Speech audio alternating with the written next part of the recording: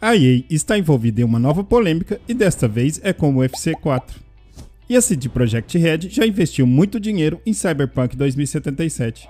Seja bem-vindo ou bem-vinda. Meu nome é André e vai começar mais um Viva News. Pessoal, os jogadores estão reparando publicidades que começaram a surgir no final do replay de UFC 4.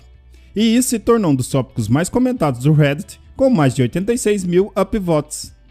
Galera, o vídeo no Twitter, que vou deixar na descrição, mostra uma publicidade da série The Boys da Amazon, junto com uma data de estreia da temporada 2, que foi em 4 de setembro. Essa publicidade também surge no final do replay. O vídeo também mostra uma publicidade de The Boys surgindo no octógono e um terceiro aparece no meio do gameplay. Essas publicidades começaram a aparecer duas semanas após o lançamento e não estiveram presentes no período das análises o que significa que não foram consideradas na hora de analisar o UFC 4.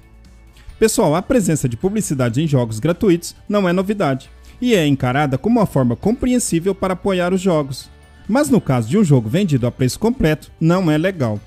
E é isso que a comunidade está compartilhando, e que não importariam com as publicidades caso não fosse algo intrusivo e menos frequentes. Mas isso não é o que está acontecendo em UFC 4.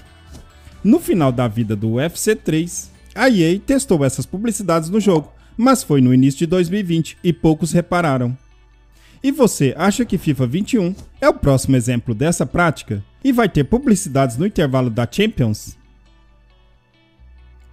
Pessoal, entre outras notícias, a CD Projekt Red está apostando todas as suas fichas na produção de Cyberpunk 2077, algo que chamou a atenção de toda a indústria e tornou um dos jogos mais aguardados de 2020. Mas quanto custa um projeto com ambição de Cyberpunk 2077?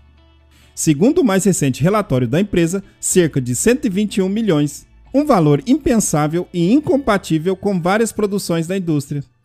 Pessoal, esse valor corresponde ao desenvolvimento de Cyberpunk 2077, junto com o seu modo multiplayer e outros projetos não anunciados.